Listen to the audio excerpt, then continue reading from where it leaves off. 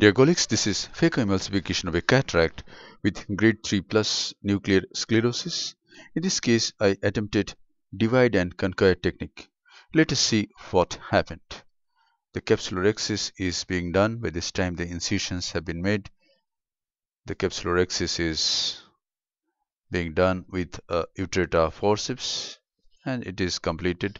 Now, hydrodissection is done. Fluid wave is burst underneath the anterior capsular rim near the equator.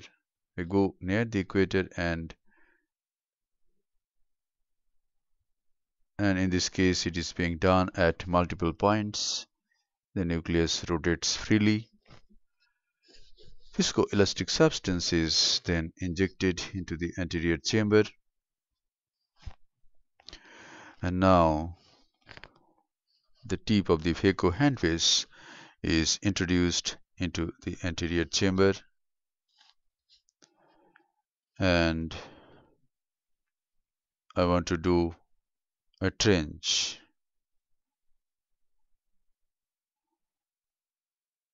Just making this trench. This trench making is a tedious job for me now but just to demonstrate it to the beginners I have to show this. I want to make a plus sign. I'm in phaco on mode. Ultrasonic energy is about 70% flow rate is 25 ml per minute vacuum is only 50 millimeter of mercury. So to make the trench we have to set the ultrasonic energy according to the hardness of the cataract. Vacuum is not required so minimum vacuum about 50 millimeter of mercury and flow rate is also just 25 ml per minute.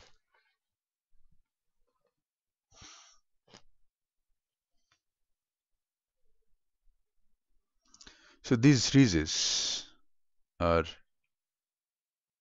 worked upon and a deep trench is made in all directions.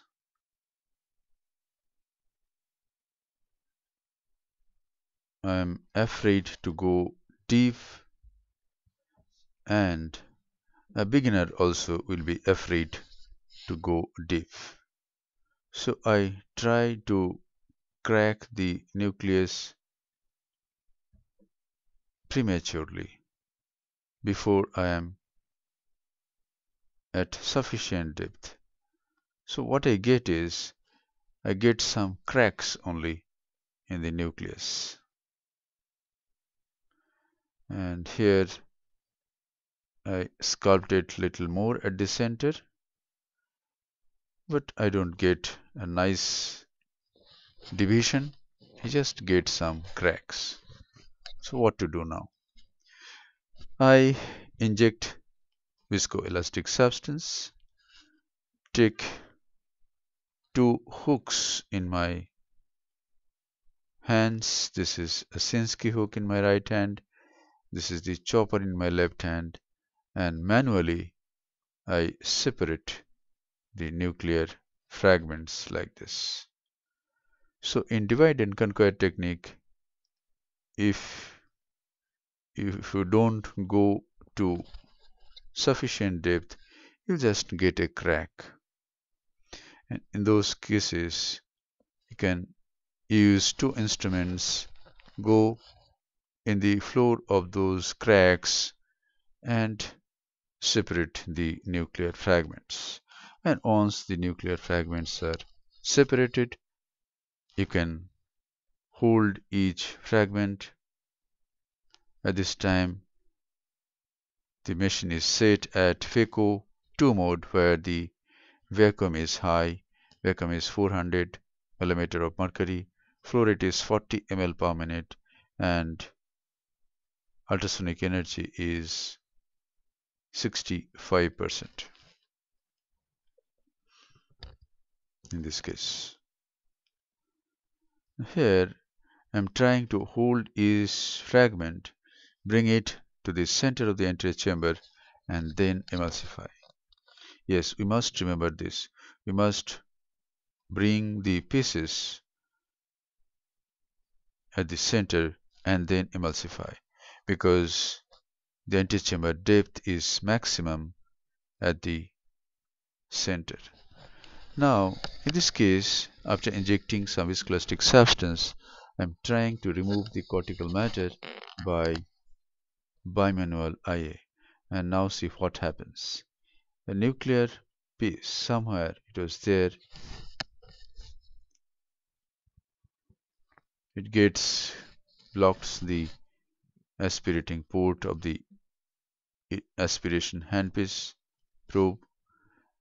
So what I do is I inject some viscoelastic substance around that small nuclear fragment and squirt it out of the anterior chamber. Bring it out.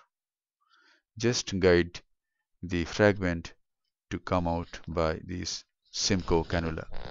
And by the Simcoe cannula itself I complete cleaning cortical matter on the left side. Some subincisional cortex also is removed by the Simcoe cannula.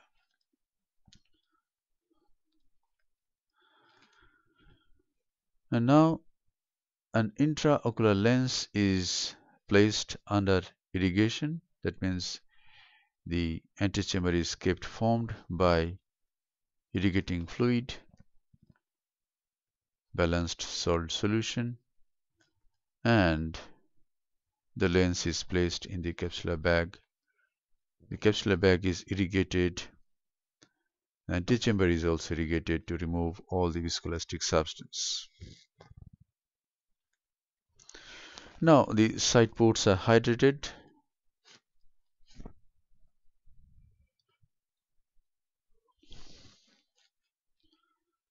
Final lavage of the antechamber is done.